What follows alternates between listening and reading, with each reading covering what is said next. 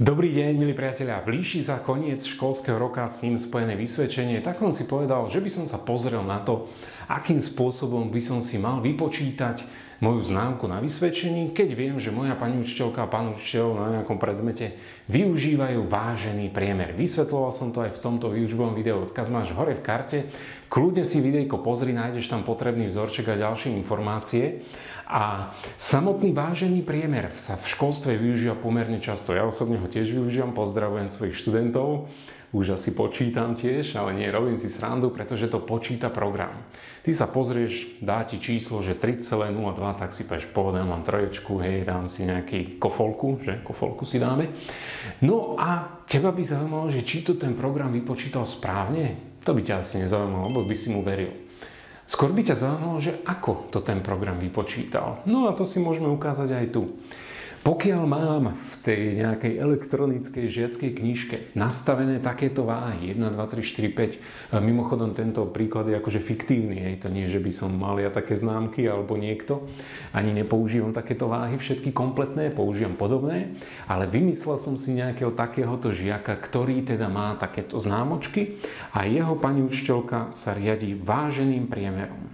Viem, že ten vážený priemer ponúka nejaký taký objektívnejší pohľad na žiaka vzhľadom k jeho známkam, kde každá tá známka má svoju váhu, má svoju dôležitosť.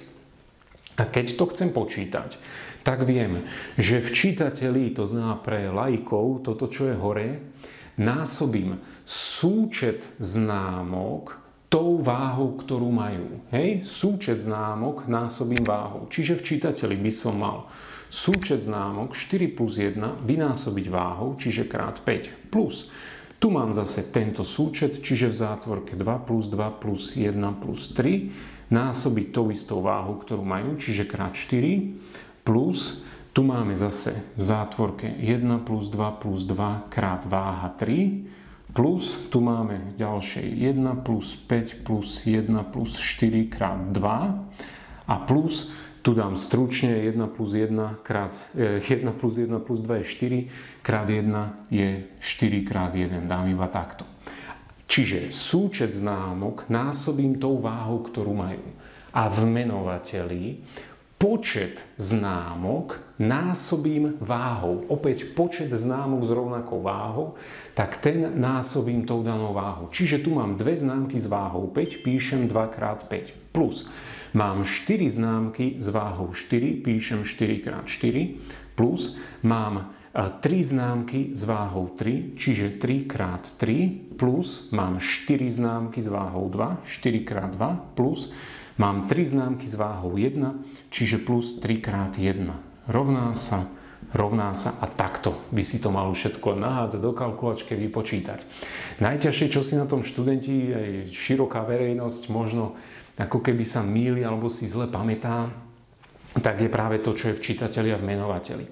Hej. V čítateli, ešte raz to zopakujem, súčet známok, ktoré majú tú istú váhu, tak tie známky sčítaš a vynásobíš práve váhou. V menovateli počet známok násobíš váhou. Tak, ideme to poupravať. Tu by som mal 5 x 5, to je 25 plus 2, 4, 5, 8 krát 4, to je 32. Sedí to? 4, 6, 8 krát 4 sedí.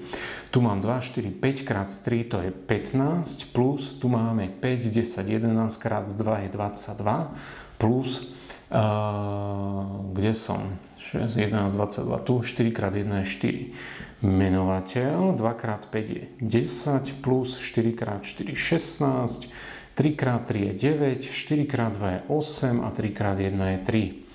Tak, už ideme to sčítať. Čiže 25 plus 32 plus 15 plus 22 plus 4 je 98.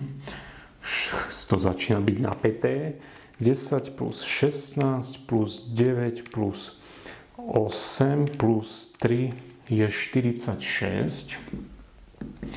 Čiže 98 deleno 46 je tada 2,13 približne. Uh, budem mať dvojku, hej, by si si asi povedal, že dobre. A sami v tom vidíte, že z tohoto, keď sa na to objektívne pozrieš, tak by si si povedal, že dobre, tak na trojku nemám tam až toľko zlých známok, na jednotku ich zase mám málo na to, aby som mohol mať jednotku, čiže áno, bola by to dvojka, tu sme sa presvedčili aj výpočtom, že teda ten vážený priemer z týchto známok je 2,13. Čiže ak by sa im pani učiteľka naozaj riadila, tak by si povedala, no tento 2,13, to je taký dvojkár, hej, taký celkom normálny, slušný. Takže tak, takýmto spôsobom sa počíta vážený priemer. Skúste si to kľudne aj vy, že či vám to tá elektronická žiacká knižka vypočítala správne. Majte sa pekne, držte sa, užte sa, buďte zdraví. Veľa šťastia ešte na konci školského roka pri koncoročných písomkách a nech to dobre dopadne. Ahojte.